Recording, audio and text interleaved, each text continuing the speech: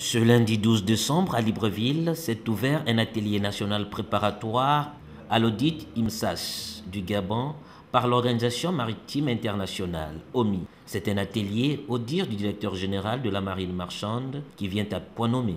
L'audit consiste pour l'Organisation maritime internationale en fait de venir hein, au mois d'avril 2017 vérifier si le Gabon applique correctement toutes les différentes conventions internationales qui ont été en fait mises en œuvre par l'Organisation maritime internationale. Et donc l'atelier préparatoire ici, c'est pour préparer cet audit. C'est-à-dire il faudrait que tous les différents acteurs qui vont en fait être interrogés, qui vont faire partie de cette, de, de cette évaluation, puissent être en phase avec tous les différents instruments d'audit hein, qui vont être mis en œuvre par l'organisme, enfin par l'organisation maritime internationale.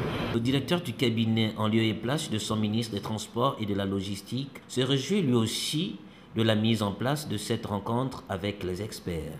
L'Organisation maritime internationale a depuis sa création mis en place des règles et normes juridiques permettant une meilleure exploitation de l'espace maritime. À vous, mesdames et messieurs les experts, en participant à cet atelier préparatoire, vous serez formés à la méthodologie de l'élaboration et aux stratégies de mise en œuvre des instruments pertinents de l'Organisation maritime internationale qui feront l'objet de l'audit IMSAS.